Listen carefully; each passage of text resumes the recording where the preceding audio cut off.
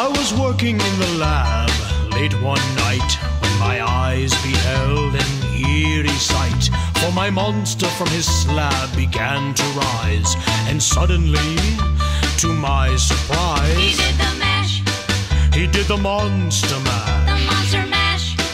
It was a graveyard smash. He did the mash, It caught on in a flash. he did the mash.